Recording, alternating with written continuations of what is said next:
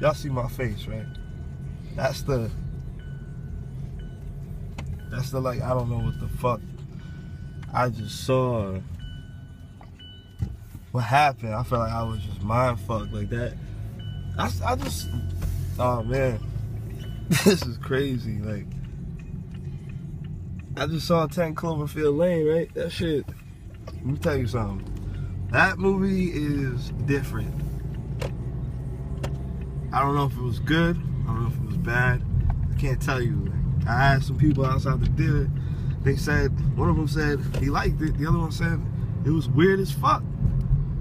I agree with the weird as fuck. What do you think? It was weird. yeah. Yeah, she she I don't know, man. Like, not gonna lie to you. I don't want to ruin the movie for y'all or nothing, but I mean, I don't know. Like I'm talking about it, so I guess I enjoyed it somewhat. But that it's it's just a it's a it's a mind fuck, man. That movie fucks with your head. You can pull up, you can go pull up. But yeah, I don't know, man. Go see it at your own risk, but just be prepared for anything.